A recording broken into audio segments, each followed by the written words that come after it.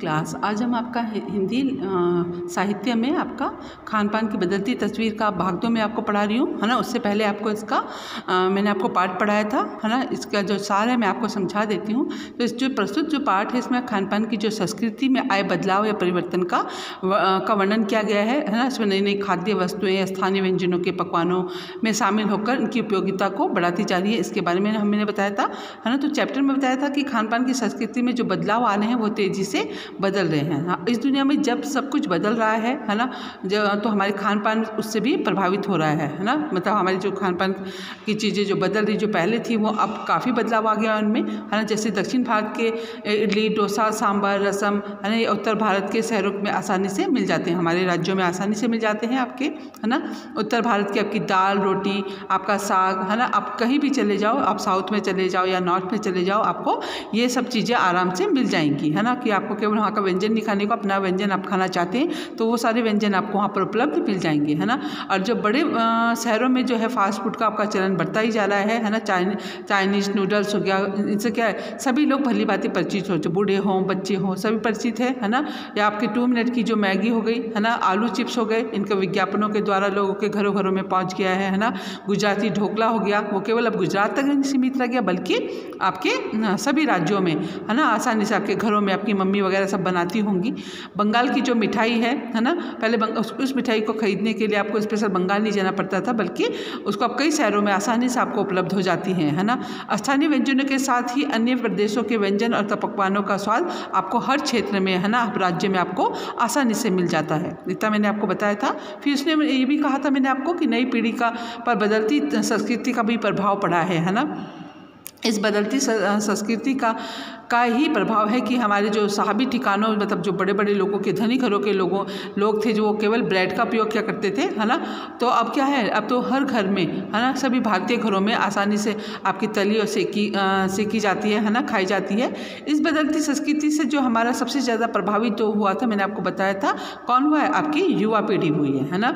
जो युवा पीढ़ी जो हमारे हैं, वो स्थानीय और जो आपको, मैं स्थानीय व्यंजन यदि मैं आपसे पूछूँगी तो आपको उसके बारे में इतनी जानकारी नहीं होगी जितने भी आजकल के जो प्रचलन के जो व्यंजन हैं फास्ट फ़ूड हैं उनके बारे में आपको ज़्यादा जानकारी होगी है ना? फिर उसने कहा कि आ, जो हमारे स्थानीय जो व्यंजन थे है ना वो क्या वो सिमटते जा रहे हैं। मतलब उनकी जो उनकी ख्याति थी है ना वो धीरे धीरे उनकी जो पसंद थी वो गुम होती जा रही है ना? लोग उनको आ, मतलब उनकी जो बनाने की जो तरकीबें थी है ना हमारे खाने के जो उनके जो जगह जगह पर खाए जाते थे वो अब तुम लोग मतलब जो आज की जो युवा पीढ़ी है उनको ज़्यादा पसंद नहीं करती जिससे कि वो सिमटती जा रही है है ना? जानवर आपके जो, हमारे जो जानकार हैं, उनका कहना है कि जैसे मथुरा के पेड़े हो गए, आगरा के पेठे हो गए, है ना? इस अवसर पर क्योंकि जो गुणवत्ता है, उनमें जो पहले शुद्धता थी, जो मिठास थी, वो उनमें असर पड़ा है है ना? अब लोगों के पास इतनी फुर्सत नहीं है है ना? कि आप आराम से, जैसे कि गृहणियाँ होगी, महिलाएँ होगी, कि वो किसी लंबे प्रोसेस में खाना बनाने की कोशिश करें, है ना? वो उनको भी जल्दी जल्दी सा, सारा काम करना होता है। यदि मैं मान बोला बोला था, मैंने आपको बताया था कि खरबूजे के बीज को छीलना, उनको सुखाना कितना कठिन काम होता है कि इतना लंबा प्रोसेस कौन करे, है ना? यदि हम जाएँगे तो आप सीधा बाज़ार से खरीद कर हम उन चीज़ों को लेकर आ जाते हैं, है ना? फिर मैंने ये भी बताया था कि आपको देसी विदेशी व्यंजनों को अपनाने का कारण भी क्या कारण है? स्थानीय व्यंजनों में कमी आने का कारण जो है, हमें देसी विदेशी व्यंजनों को हम अपनाते जा रहे हैं। सबसे मेन बात यह है ना? जो कि पकाने और पकाने में पकाने में, बनाने में सरल होते हैं, है ना? और हमारे जो शहरी जीवन हो गया, उसमें भागम भाग हो गई, फिर जो हमारी, महँगाई की वजह से भी, है ना? लोगों ने अनेक चीज़ों से वंचित हो रहे हैं, लोग अपने जो स्वाद थे जो स्थानीय स्वाद थे उनको छोड़ते जा रहे हैं, है ना? मेवे के स्वाद का बे बेस्वाद वाले भोजन पकाने से पहले आपको कई बार सोचना पड़ता है ना? यदि आपको मेवे वाले कोई व्यंजन बनाने हो तो उसको आपके पास इतने पैसे होने चाहिए कि आप उनको खरीद कर लाएँ, उनको बना सकें, है ना? तो इन सब चीज़ों की वजह से भी जो है हमारे स्थानीय व्यंजन है वो छूटते जा रहे हैं, उनको बनाना कम होता जा रहा है। फिर मैंने बताया था आपको कि खान पान की संस्कृति, सकारात्मक पक्ष भी हैं इनके। खान पान की जो मिश्रित संस्कृति का जो सकारात्मक पक्ष है कि वो आज गृहिणी और कामकाजी महिलाओं को शीघ्रता से तैयार होने वाले व्यंजनों की हमें जानकारी होती है। नई पीढ़ी के पास देश, विदेश के व्यंजन बन, जानने का अवसर मिला है है ना? इस संस्कृति से हमें राष्ट्रीय एकता की झलक भी मिलती है। खान पान से जुड़ी हुई वस्तुएँ जैसे बोली, बानी, वेशभूषा, उनके बारे में भी हम जान सकते हैं इसके द्वारा, है ना? फिर इसमें कहा कि जो उन्होंने बोला कि ध्यान रखने वाली जो मेन बातें हैं वो क्या बोला? उन्होंने, स्थानीय व्यंजनों के विषय में ध्यान रखने वाली बात यह है कि इनका पुनरुद्धार होना चाहिए, है ना? इन्हें केवल पाँच सितारा होटलों के प्रचार के लिए नहीं छोड़ देना चाहिए, बल्कि अपने घरों में भी, अपने बच्चों को भी हमारे बच्चों को भी इसकी जानकारी होनी चाहिए, है ना? तो उन्होंने कहा कि इन व्यंजनों का जो हमारे घरों से, बाज़ारों से जो गायब हो गया, हमारे लिए क्या है? दुर्भाग्य की बात है, मैंने तो आपको बताया था, है ना? जैसे कि आपकी कचौरियाँ हो गई, जलेबी हो गई, समोसे हो गए, है ना? अब वो मतलब उतनी आसानी से नहीं मिलते, जो स्वाद पहले हुआ करता था, वो स्वाद अब नहीं हुआ करता है है ना? और हाल ही में जो उत्तर भारत के जो व्यंजनों व्यंजनों का भी यही हाल हुआ है है ना? उत्तर भारत में जो गली मोहल्ले में मिलने वाली आम चीज़ों की जो खा, अब होती थी, आम चीज़ें हुआ करती थी, वो अब खास दुकानों में हमें खोजना पड़ता है है ना? आधुनिकता के नाम पर भी हमने स्थानीय व्यंजनों को छोड़ दिया है और स्वाद तथा स्वास्थ्य के अनुकूल अनेक चीज़ें जो है पश्चिम की नकल करने लगे हैं, है ना? ये चीज़ें हो गई थी हमारी। फिर मिश्रित संस्कृति में कई बार चीज़ों का जो स्वाद है वो नहीं ले पाते हैं, है ना? यह विविधता संस्कृति हमें चुक चुकने का चुनने का जो अवसर देती है है ना? परंतु विपरीत प्रकृति वाले व्यंजन एक साथ परोसकर भी हम उसका लाभ नहीं उठा सकते, है ना? विकसित होती मिश्रित संस्कृति की को तरह तरह से हम जांचते हमें परखते रहना चाहिए। इतना इस चैप्टर में मैंने आपको पढ़ा दिया था। अब हम आपके अभ्यास प्रश्न करेंगे। है ना? सबसे पहले हम शब्दार्थ करते हैं आपके, है ना? शब्दार्थ, ठीक है?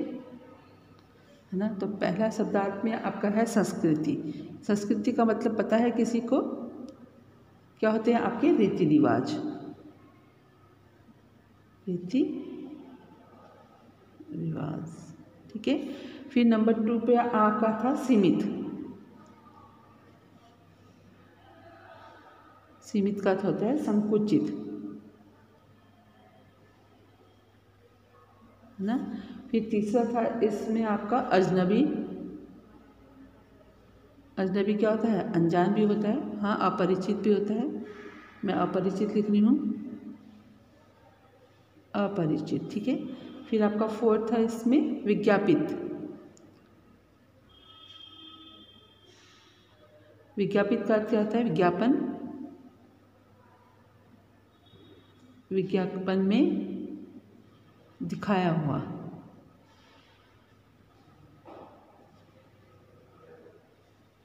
हुआ, है ना? फिर आपका इसमें आता है साहबी ठिकानों। साहबी ठिकानों साहबी ठिकानों मतलब धनी लोगों के घर, है ना? धनी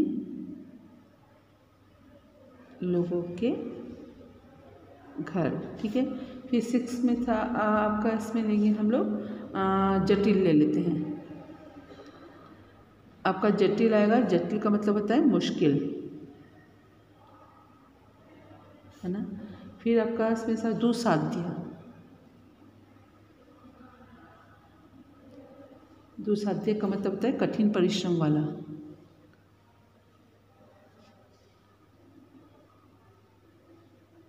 कठिन परिश्रम वाला, है ना?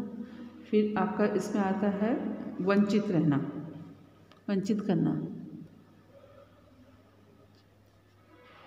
करना मीन्स ले लेना। फिर आता है आपका मिश्रित। मिश्रित का मतलब होता है मिला जुला। मिला जुला। है ना? फिर आपका दस इसमें आएगा, मिश्रित के बाद आएगा आपका निखालिस। निखालिस मैंने शुद्ध। शुद्ध। निखालिस के बाद आपका इसमें आएगा पुनरुद्धार। था। है ना इसका मतलब फिर से बढ़ाना।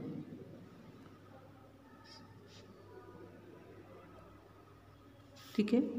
फिर बारह है इसमें आपका। दुर्भाग्य। दुर्भाग्य। दुर्भाग्य का मतलब है आपका बदकिस्मती ना? बदकिस्मती।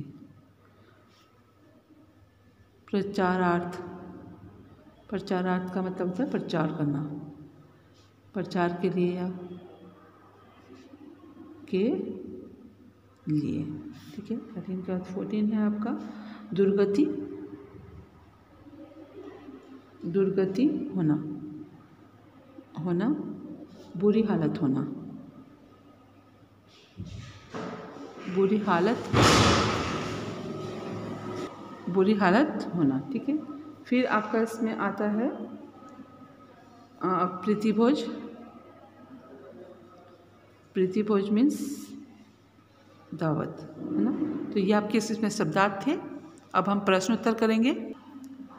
खान पहला क्वेश्चन है, इसमें आपका लिखा हुआ कि खान पान की मिश्री संस्कृति में से लेखक का क्या मतलब है? अपने घर के उदाहरण को देकर आपको उसकी व्याख्या करनी थी। इसका आंसर मैंने यहाँ पे लिखा है। खान पान की मिश्री संस्कृति से लेखक का मतलब है देसी विदेशी व्यंजनों का मेलजोल अर्थात स्थानीय व्यंजनों और पकवानों का महत्व रखते हुए देश के अन्य भागों के पकवानों तथा विदेशी व्यंजनों व पकवानों को अपनाना। इससे मध्यम वर्गीय लोगों के भोजन में विविधता दिखाई पड़ने लगी है। है ना? मेरे अपने ही, फिर उन्होंने दूसरा क्वेश्चन पूछा था उन्होंने कि अपने घर के उदाहरण देकर आपको उसकी व्याख्या करनी थी, है ना? आप अपने हिसाब से भी लिख सकते हैं इसको। मेरे अपने ही घर में कुछ दिन पहले तक, क्या हम लोग क्या करते थे? अपने जो घर में हम उत्तर भारतीय जो भोजन होता है, हमारे घरों में दाल, रोटी, चावल, साग, पूड़ी ये खाई जाती थी, है ना? लेकिन कभी कभी इसके साथ साथ आपका इडली, डोसा, वड़ा भी खाया जाता है है ना? और समय की कमी को देखते हुए कभी कभी फास्ट फ़ूड में आपका बन जाता है बर्गर नूडल्स पिज़्ज़ा भी खाया जाता है। तो यह खान पान की मिश्रित संस्कृति का ही प्रभाव है। फिर दूसरा क्वेश्चन था इसमें खान पान का बदलाव में कौन से फ़ायदे हैं? इस फिर इस आ, फिर लेखक इस बदलाव को लेकर चिंतित क्यों है? है ना? इसका आंसर जो था खान पान में बदलाव के निम्नलिखित फ़ायदे हैं जैसे कि किसी क्षेत्र क्षेत्र के पकवान है ना? पकवान या व्यंजन व्यंजन को उस क्षेत्र उस क्षेत्र के बाहर के लोगों ने लोगों ने अपनाया। है ना? फिर इसमें दूसरा पॉइंट है इसका, है ना? क्षेत्र विशेष के आपके क्षेत्र विशेष के विशेष पकवानों विशेष पकवानों का स्वाद लेने के लिए। स्वाद लेने के लेने के लिए उस क्षेत्र में जाना आवश्यक नहीं है। क्षेत्र में जाना आवश्यक नहीं है, ठीक है? फिर आपका थर्ड पॉइंट है इसमें, है ना? खाने खिलाने में विविधता ये है आपकी, है ना? खाने खिलाने में विविधता आई है ना? फिर आपका इसमें फोर्थ है आपका, है ना? महिला तथा गृहिणियों को नए व्यंजन पकवान बनाने की विधि उपलब्ध हो गई है। है ना? महिलाओं, है ना? महिलाओं को नए व्यंजन नए व्यंजन तथा पकवान बनाने बनाने की विधियाँ विधियाँ उपलब्ध हो गई हैं। उपलब्ध हो गई, है ना? आपने देखा होगा कि नए आजकल अपनी मम्मी है जो यूट्यूब के द्वारा माध्यम से नए नए पकवान आपको बनाकर खिलाया करती होंगी, है ना? तो ये चीज़ की वजह से हो आपकी जो गृहिणी है नए नए डिशेज आप बना के सीखती हो और ख़ासकर लॉकडाउन के समय में, है ना? तो फिर इसमें फोर फिफ्थ पॉइंट है, हम अन्य संस्कृति की हम अन्य संस्कृति अन्य संस्कृति की बोली, बानी, भाषा, भूषा से भी परिचित होते हैं, से भी परिचित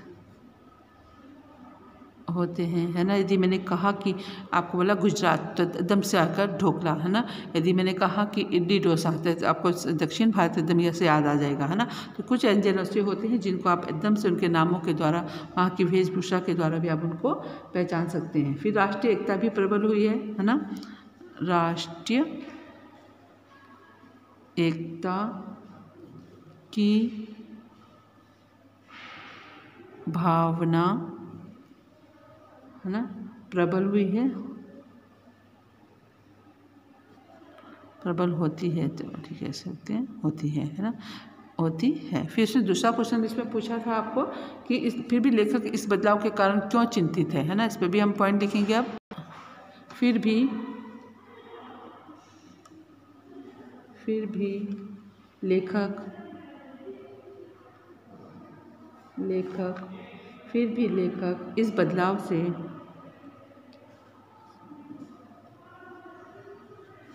इस बदलाव से चिंतित है।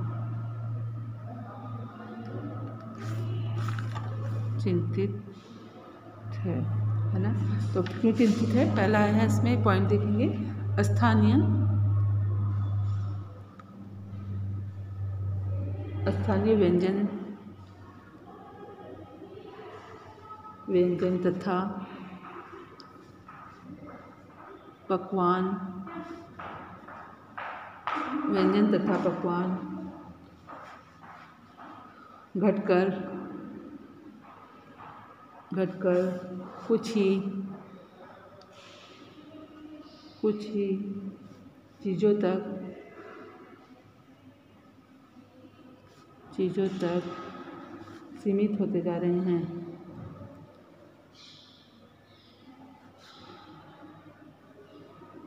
होते जा रहे हैं। ठीक है?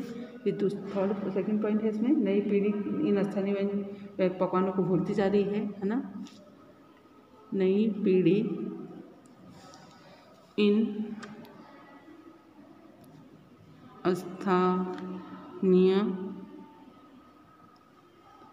स्थानीय पकवानों को स्थानीय पकवानों को भूलती जा रही है।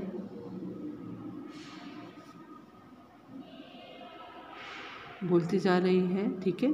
फिर आपका इसमें जो थर्ड पॉइंट है इसका, है ना? स्थानीय व्यंजन। स्थानीय व्यंजन तथा पकवान केवल केवल पाँच सितारा पाँच सितारा होटलों के प्रचार के प्रचार की वस्तु वस्तु बनकर रह गए हैं।